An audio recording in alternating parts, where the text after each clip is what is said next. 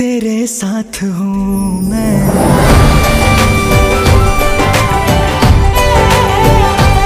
जिस दिन का इंतज़ार हम लोग पिछले कई दिनों से कर रहे थे, सो फाइनली दोस्तों, आज वो दिन आ गया है। जी हाँ दोस्तों, हमें इंतज़ार था कि सुपरस्टार अक्षय कुमार रक्षाबंधन फ़िल्म से पोस्टर कब रिवील करेंगे।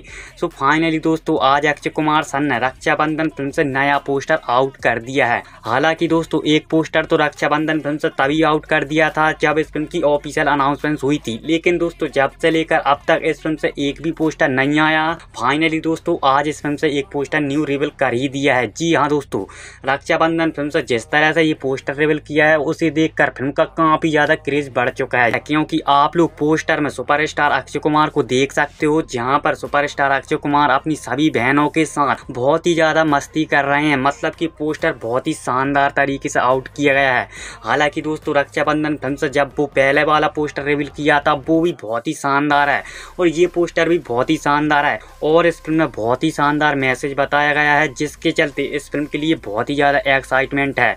हालाँकि दोस्तों, रक्षाबंधन फ़िल्म तो बहुत ही शानदार रहेगी क्योंकि जिस तरह से इस फ़िल्म के पोस्टर आ रहे हैं, उसे देखते हुए हम यही कह सकते हैं कि रक्षाबंधन फ़िल्म बॉक्स ऑफ़िस पर एक बहुत बड़ी हिट फ़िल्म साबित रहेगी। हालाँकि दोस्तों, पोस्टर के बारे में बात करें तो रक्षाबंधन फ़िल्म से अभी एक ही पोस्टर आउट किया गया है, जिसे हिंदी और इंग्लिश दोनों टाइटल में रिवील किया है। मतलब कि ये बहुत ही अच्छा किया है कि रक्षाबंधन फ़िल्म के पोस्टर को हिंदी टाइटल में भी रिवील किया है। दोस्तों, बताना चाहूँगा, फ़िल्म का ट्रेलर कल आउट किया जाएगा। ये तो आप लोग पिछले कई दिनों से जानते थे कि इस फ़िल्म का ट्रेलर 21 जून को आने वाला है। और आज खिलाड़ी अक्षय कुमार ने फ़िल्म से पोस्टर आउट करके ये साबित भी कर दिया है कि फ़िल्म का ट्रेलर कल हंड्रेड परसेंट आने वाला है।